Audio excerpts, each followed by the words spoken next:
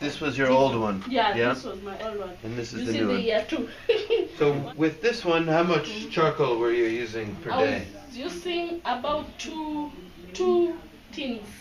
And now, Now I one? do use this one.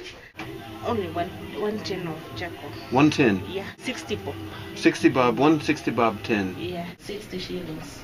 for one day. Yeah, And before, with the ceramic, one hundred and twenty. You will put half, but that half you will cook the food and you warm the water. There's less smoke because this one was bringing a lot of smoke, Mm-hmm. but this one you cook, no smoke. And the, the smoke is, is, I don't know where the smoke goes, but there is no smoke with this. Very, very, very, very nice. yeah. Uh, more cheap than stove, and it cooks fast. So I really like it. I like the color. But, But the this black, one black, is black so is the good. best. Yeah, black.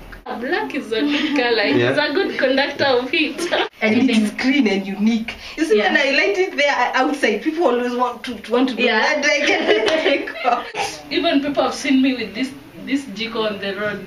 They're, they've started you- asking me, how much do you sell it? I was telling them I will even buy at at three thousand. They were telling me it's okay because considering the the the the makaa they are using, it's cheap. I wanted to buy at around 3,000. All of them they are telling me you stop the research thing and doing these things, you buy them. Yeah.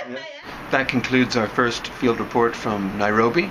We visited four slums throughout the city where women have been using the stove for the last two to three weeks. All of the women reported fuel savings of 50% or more.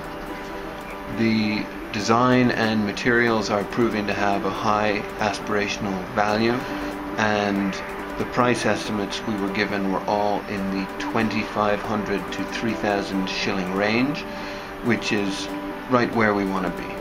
Will you sell them Of course I will. I will sell them like madness.